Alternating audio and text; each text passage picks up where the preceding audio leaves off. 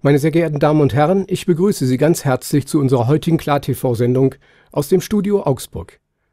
Unser heutiges Thema USA sichert sich militärischen Vorteil. Russland zieht nach.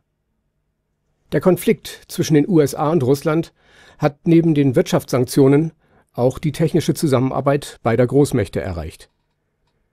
Die USA hatten in den frühen 1990er Jahren versprochen, die Aufstellung von Stationen des russischen Navigationssystems GLONASS auf ihrem Territorium zuzulassen. Im Gegenzug sendete bis Ende Mai 2014 elf GPS-Stationen von russischem Territorium aus Daten an die USA.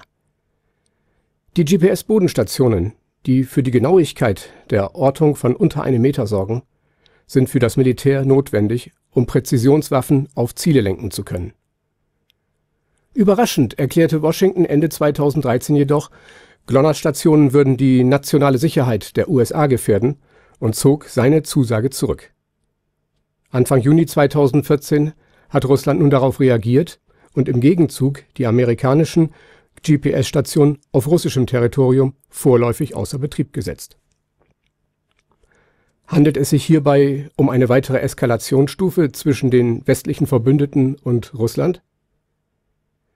Wir wünschen Ihnen einen guten Abend und freuen uns, wenn Sie unsere Sendung weiterempfehlen und wenn Sie morgen auch wieder bei uns reinschauen. Auf Wiedersehen.